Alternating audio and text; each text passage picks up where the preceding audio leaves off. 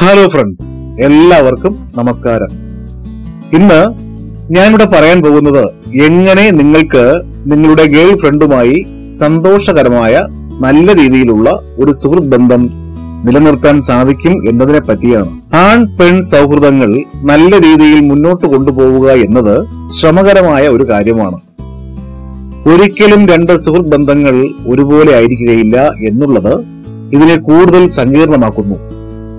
എന്നിരുന്നാലും എല്ലാ സുഹൃത്ത് ബന്ധങ്ങളിലും പ്രയോഗിക്കാവുന്ന ചില നല്ല ശീലങ്ങളുണ്ട്.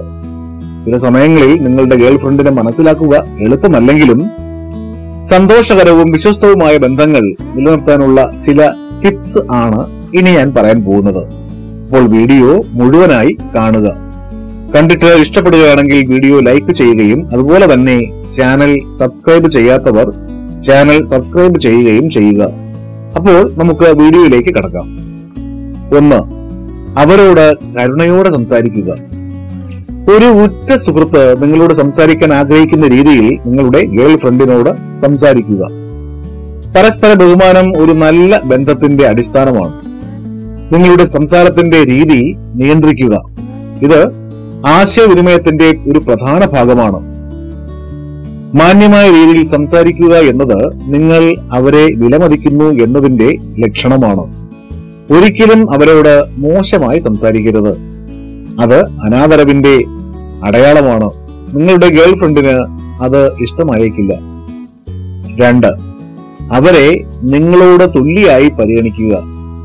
അവർക്ക് അവരുടേതായ ചിന്തകളും അഭിപ്രായങ്ങളും സ്വപ്നങ്ങളും ഉള്ളതിൽ നിങ്ങൾ അഭിമാനിക്കണം.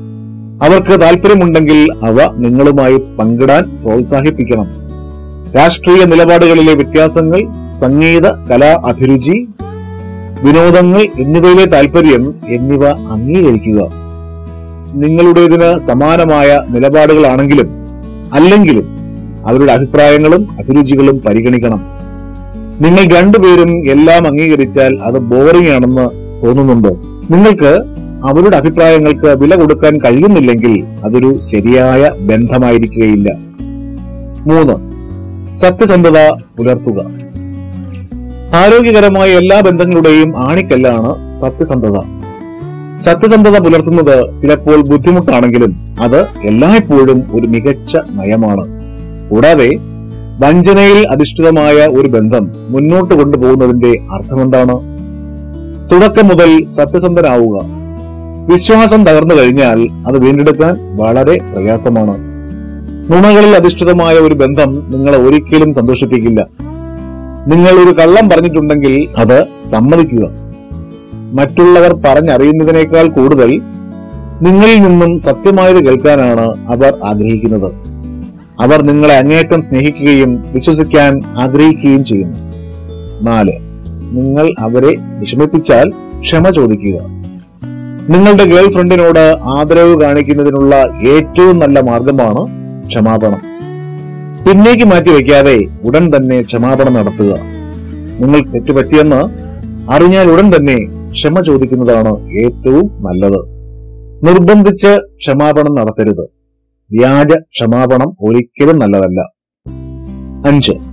നിങ്ങൾ അവരെ കുറിച്ച് ചിന്തിക്കുന്നുവെന്ന് അവരെ അറിയിക്കുക. അവർ നിങ്ങളുടെ ഗേൾ ഫ്രണ്ട് ആയതിനാൽ നിങ്ങൾ അവരെക്കുറിച്ച് ചിന്തിക്കേണ്ടതുണ്ട്. അത് നിങ്ങൾ അവരെ അറിയിക്കുക. നിങ്ങൾ അകലെയാണെങ്കിൽ ഒരു ലളിതമായ മെസ്സേജോ ഫോൺ കോളോ നിങ്ങൾ അവരെ ശ്രദ്ധിക്കുന്നുണ്ടെന്ന് അവരെ അറിയിക്കുന്നതിനുള്ള ചെറിയ വഴികളാണ്. ആറ്. അവർ നിങ്ങൾക്ക് പ്രിയപ്പെട്ടവളാണെന്ന് അവരെ അറിയിക്കുക. നിങ്ങൾ തനിച്ചാണെങ്കിലും സുഹൃത്തുക്കൾക്കിടയിലാണെങ്കിലും അപരിചിതർ നിറഞ്ഞ ഒരു തിരക്കേറിയ കടയിലാണെങ്കിലും നിങ്ങളുടെ കണ്ണും മനസ്സും അവരിലാണെന്ന് അവരെ അറിയിക്കുക. അവരുടെ വികാരങ്ങളും പരിഗണിക്കുക.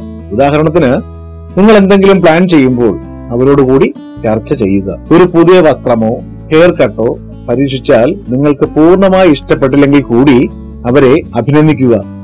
നിങ്ങൾക്കായി എന്തെങ്കിലും വാങ്ങിയാലോ എന്തെങ്കിലും ചെയ്താലോ സഹായിച്ചാലോ അവരോട് നന്ദി പറയുക. ലളിതമായ നന്ദി ഒരുപാട് വിലപ്പെട്ടതാണ്. അവർക്ക് കൊടുക്കുന്ന അപ്രതീക്ഷിതമായ കാര്യങ്ങൾ ദിവസങ്ങളോളം അവരെ സന്തോഷിപ്പിക്കും. ഏഴ്. അവർക്ക് സർപ്രൈസ് കൊടുക്കുക.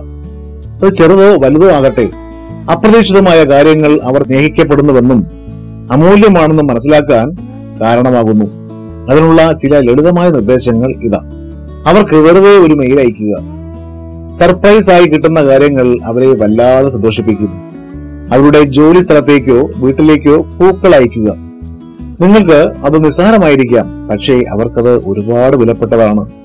ഒരു സർപ്രൈസ് ലഞ്ച് കൊടുക്കുക. ഇതെല്ലാം അവർ ജീവിതകാലം മുഴുവനും ഓർത്തിരിക്കും. എട്ട് അവരോടൊപ്പം നിൽക്കുക.